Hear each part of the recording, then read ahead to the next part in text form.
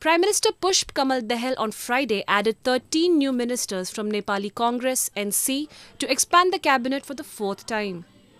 There are 31 members in the Council of Ministers after the new appointments. The newly appointed ministers from the Nepali Congress are Sita Devi Yadav, Arjun Narsingh KC, Dr. Prakash Sharan Mahat, Balkrishna Khand, Suryaman Gurung, Keshab Kumar Budhathoki, Nabindra Raj Joshi, Hriday Ram Thani, Deepak Giri, Gagan Thapa, Jeevan Bahadur Shahi, Shankar Bhandari, and Romi Gauchan. Sita Devi Yadav, who is the treasurer of NC, has been handed over the responsibility of Ministry of Peace and Reconstruction, while Arjun Narsingh KC, who earlier refused to join the government after not getting the Ministry of Home Affairs, has been given the Ministry of Urban Development.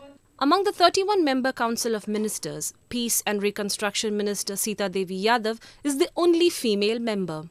Radhika Tamang and Dhanamaya BK of CPN Maoist Centre are state ministers.